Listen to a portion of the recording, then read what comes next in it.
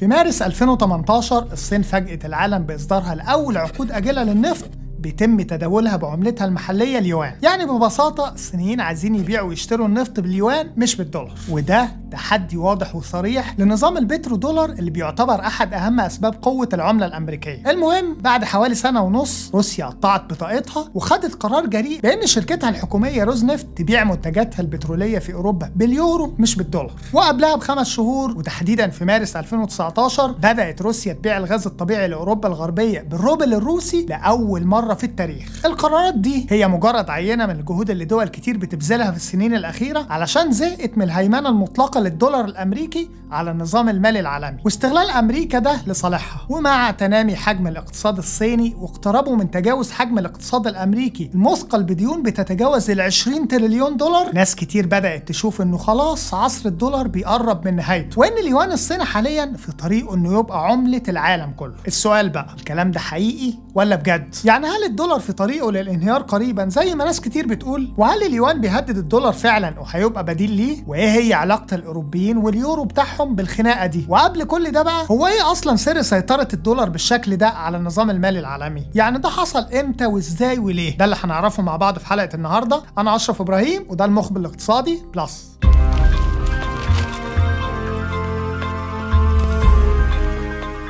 اغتيال رسمي. ده ربما أفضل توصيف للي عملته أمريكا في إبريل 2018 في تاني أكبر شركة لتصنيع الألومنيوم في العالم وهي شركة روسال الروسية. اللي حصل ببساطة هو إن وزارة الخزانة الأمريكية منعت روسال من التعامل بالدولار الأمريكي. تقول لي طب وإيه المشكلة؟ أنت مكبر الموضوع كده ليه؟ أقول لك هو الموضوع كبير فعلا والقرار ده كان سبب في صعود أسعار الألومنيوم في كل مكان بالعالم بنسبة كبيرة. لأن منع تاني أكبر منتج في العالم من التعامل بالدولار معناه إنك شليته بشكل رسمي ومنعته من دخول السوق اللي الكل بيتعامل فيه بالدولار زيه زي كل أسواق السلع. فكرة المنع من التعامل بالدولار أو حظر الوصول للنظام المالي الأمريكي ده سلاح بتمتلكه الولايات المتحدة فقط وقادرة من خلاله إنها ترقع أي دولة وأي شركة في العالم مهما كان حجمها. لأن اللي بيربط النظام المالي العالمي كله ببعضه هي مؤسسات مالية أمريكية. كلنا يمكن فاكرين انسحاب ترامب من الاتفاق النووي مع إيران في 2018 اللطيف والمثير للسخرية في الحادثة دي هو إنه بمجرد إعلان قرار الانسحاب كل الشركات الأوروبية اللي شغالة في إيران خدت ديلها في أسنانها وانسحبت بسرعة من السوق الايراني رغم إن الحكومات بتاعتهم نفسها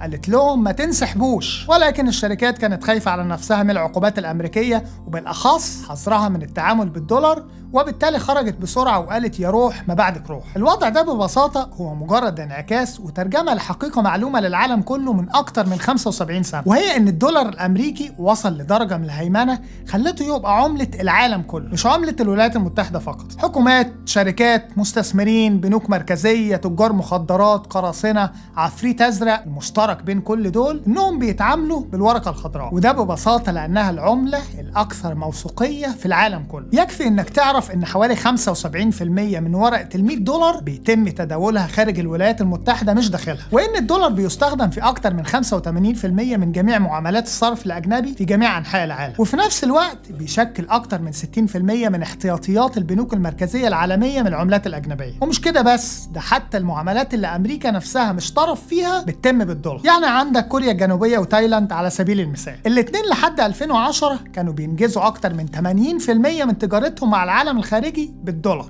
في حين إن حجم صادراتهم للمشترين الأمريكيين لا يتعدى ال 20% نفس الوضع بينطبق على أستراليا اللي بتبيع 70% من صادراتها بالدولار الأمريكي. ونروح بعيد ليه؟ في سبتمبر 2018 وقف رئيس المفوضية الأوروبية السابق جون كلود يونكر قدام القادة الأوروبيين وهزقهم بالأدب. الراجل أبدى استغرابه من إن الاتحاد بيشتري 80% من احتياجاته من الطاقة بالدولار. في حين إن كل اللي بيستورده من أمريكا لا يشكل أكتر من 2% من احتياجاته. يعني بيقول لهم ببساطة إحنا ليه بنشتري أغلب احتياجاتنا من الطاقة بعملة؟ لا هي بتاعتنا ولا بتاعت الدول اللي بنشتري منها. الوضع المهيمن للدولار ده كان زمان منطقي جدا وله أسباب لكنه دلوقتي بقى غريب بعض الشيء. يعني بعد الحرب العالمية الثانية على طول كانت أمريكا لوحدها بتشكل أكتر من نص الناتج الاقتصادي للدول العظمى وكانت أكبر مصدر في العالم والمصدر الرئيسي لرأس المال الأجنبي. لكن كل ده اتغير من بداية الألفية الثالثه تقريبا. يعني الاقتصاد الأمريكي بعد ما كان بيشكل لوحده حوالي 40% من الناتج المحلي الإجمالي العالمي سنة 1960 بقت نسبته دلوقتي لا تتعدى ال 25% وفي نفس الوقت الصين حاليا هي اللي بقت أكبر مصدر في العالم وبيجي بعدها أمريكا وبعدهم بفارق بسيط ألمانيا. الخلاصة هي إن الولايات المتحدة بقت أضعف اقتصاديا من زمان ولكن الدولار لسه بيملك نفس السطوة والهيمنة. العالم كله وبالأخص القوى الرئيسية مش عاجبها السيطرة شبه المطلقة للدولار على النظام النقد العالمي. وعلى مدار التاريخ كان في أكتر من محاولة لإنهاء السيطرة دي أو على الأقل تقليلها. ويمكن كان أول تحدي رئيسي تعرض للدولار كان اتفاق الأوروبيين في سنة 1999 على إنشاء عملتهم المشتركة اللي هي اليورو. وبعدها بكام سنة بدأ اليوان الصيني يظهر في الصورة بدعم من النمو الاقتصادي الهائل للصين وسيطرتها المتنامية على حركة التجارة العالمية. لكن لا اليورو ولا اليوان قدروا يقفوا قدام الدولار أو حتى يهددوا مكانته كعملة العالم الأولى. اليوان لسه عملة صاعدة ولسه أضعف من إنه يبقى أحد العملات الاحتياطية الرئيسيه واليورو على الناحية الثانية بعافية شوية بسبب المشاكل السياسية والاقتصادية في أوروبا واللي واضح إنها ما بتخلصش. طيب هل الأوروبيين والصينيين لو اتحدوا يقدروا يهزوا الدولار أو يتجاوزوه؟ يعني لو بقى في محور يورو يوان هل المحور ده قادر على إزاحة الدولار؟ في الحقيقة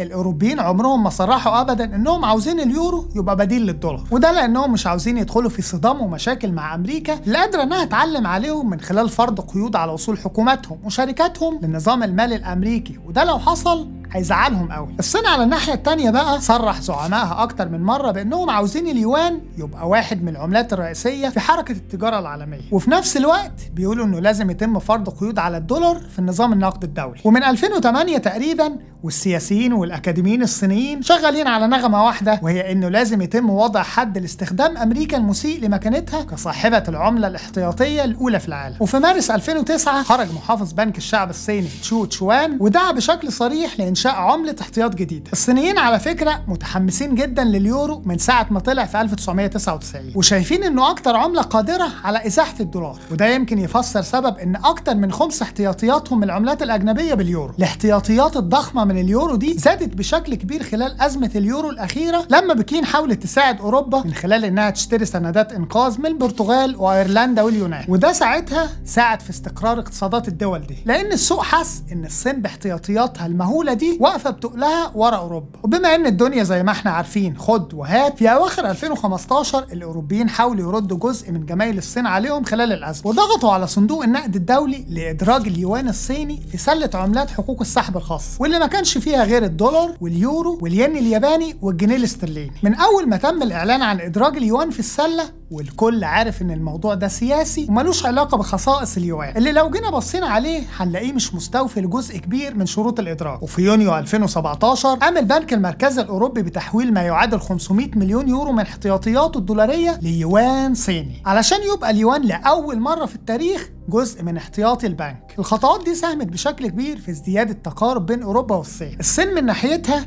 رسم لأوروبا مكانة مهمة ومحورية في مشروع طريق الحرير اللي بتسعى من خلاله للسيطرة على الجزء الأكبر من حركة التجارة العالمية. وأوروبا على الناحية الثانية بتستضيف أكبر عدد من شركات المقاصة الخاصة باليوان. دلوقتي هتلاقي مراكز تداول لليوان في بودابست وفرانكفورت ولكسمبورج ومدريد ميلانو باريس. ووجود المراكز دي كلها بيعزز استخدام العملة الصينية في جميع أنحاء أوروبا. تسألني وتقول لي طب وايه علاقة التحالفات السياسية اللي من النوع ده بوضع الدولار؟ أقول لك ده ليها وليها وليها ده هو ده لب الموضوع أصلا. إحنا عايشين في عالم كل حاجة فيه متشابكة ومفيش حاجة أقرب للاقتصاد من السياسة ولا أقرب للسياسة من الاقتصاد. يعني في حوار الدولار ده البعد الجيوسياسي حاضر بقوة. الرابط العسكرية والدبلوماسية اللي ما بين أمريكا وبقية الدول بتشجع الدول الحليفة ليها إنها تحتفظ بكمية أكبر من الدولارات وبالتالي بيظل لأمريكا تأثير ما عليها بشكل أو بآخر. هقول لك على معلومة يمكن تستغربها. تعرف إن الدول اللي بتمتلك سلاح نووي غالبا بتكون أقل اعتمادا على الدولار مقارنة بالدول المعتمدة امنيا على أمريكا. بيري آيكن جرين أستاذ الاقتصاد والعلوم السياسية في جامعة كاليفورنيا بيقول إن الدول المتحالفة عسكريا مع الولايات المتحدة نسبة اعتمادها على الدولار كجزء من احتياطياتها أعلى بحوالي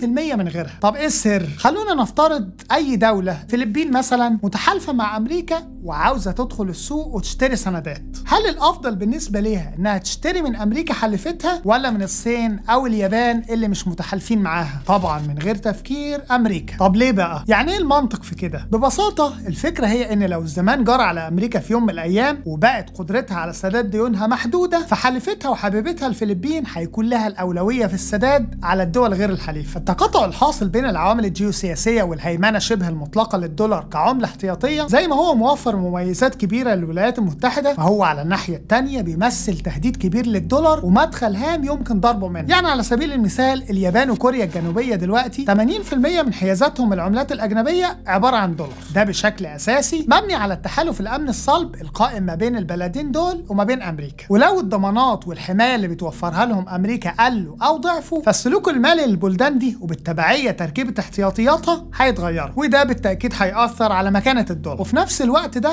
هيدي فرصة للصين إنها تتقدم وتحاول تستغل الشرخ ده وتملى فراغ أمريكا. وبكده اليوان ياخد دفعة قوية للأمام قدام الدولار. الكلام حوالين نهاية سطوة الدولار وهيمنته في أغلب الأحيان لا يخلو من المبالغات. لكن لما حد بوزن هنري بولسون وزير الخزانة الأمريكية السابق واللي كلامه قليل جدا ويتوزن بالذهب يطلع في مايو اللي فات ويكتب مقال يلمح فيه للمخاطر اللي بتهدد مستقبل الدولار. كعملة احتياط عالمية في ضوء التطورات الأخيرة الخاصة بفيروس كورونا فلازم نقف وقفة بولسون اللي كان بيقود وزارة الخزانة الأمريكية أيام أزمة 2008 بيقول إن محافظة الدولار على مكانته لأكثر من 75 سنة دلوقتي يعتبر أمر شاذ بالمعايير التاريخية خصوصا في ظل التهديد اللي بيشكله صعود الصين منذ بداية الألفية. واعترف كمان بأن اليوان عنده الإمكانات اللي تساعده على منافسة الدولار على الساحة الدولية في المدى الطويل على الأقل. والإمكانات دي بيستمدها اليوان بشكل أساسي من الحجم الكبير للاقتصاد الصيني وآفاق نموه الكبيرة والجهود المتسارعة من جانب بكين لتدويله. وفي نفس المقال نصح بولسون الحكومة الأمريكية بأنها تنتبه للخطر اللي بيشكله اليوان وإنها تحاول بقدر الإمكان تحافظ على الظروف اللي ساهمت في وصول الدولار لوضعه المهيمن الحالي. خصوصا بقى وإنه لو ما حصلش كارثة كبيرة مفاجأة للاقتصاد الصيني فهو في طريقه ليصبح أكبر اقتصاد في العالم كله. وهيبقى برضه أول اقتصاد يتعافى من أزمة كورونا. ولكن وفقا لبولسون وغيره من الخبراء الاقتصاديين فأقصى إنجاز ممكن يحققه اليوان الصيني هو إنه يبقى عملة دولية معتبرة زيه زي الدولار الأمريكي والين الياباني والفرنك السويسري واليورو الأوروبي. وده هيبقى إنجاز كبير جدا بالنسبة للعملة الصينية اللي بيانات بنك التسويات الدولية بتقول إنها كانت في المركز الثامن في قائمة أكثر العملات العالمية تداولا السنة اللي فاتت. أما بقى فكرة إن اليوان يحل محل الدولار كعملة العالم فاحتمالها ضعيف جدا. وغالبا مش هتحصل قريب على الأقل وفقا للمعطيات الحالية. نقطة قوة الدولار هي نفسها نقطة ضعف اليوان وهي الثقة. ثقة العالم في النظام المالي الأمريكي أكبر بكتير من ثقته في النظام المالي الصيني وده ببساطة لأن الأول رغم عيوبه يظل أكثر انفتاحا وأكثر شفافية. اليوان بقى عشان يبقى مؤهل لإزاحة الدولار فالصين محتاجة تعمل شوية حاجات. أهمهم تعويم اليوان وإلغاء الضوابط المفروضة على حركة رأس المال وتأسيس نظام سياسي أكثر شفافية. هل بقى الحزب الشيوعي الحاكم ممكن يعمل القصة دي؟ أنا وناس كتير بنشك في ده الحقيقة. لما نيويورك تايمز سألت أستاذ الاقتصاد السياسي الأمريكي مارك بليث في فبراير 2019 هل اليوان بيشكل بديل محتمل للدولار كعملة عالمية؟ قال أنا شخصيا ممكن أروح الصين وأختفي ومحدش يعرف لي طريق. أي دولة فيها النوع ده من السياسة؟ صعب جدا عملتها تبقى عملة عالمية. خلاصة الكلام ببساطة هو إن نجاح اليوان في تجاوز الدولار أو لأ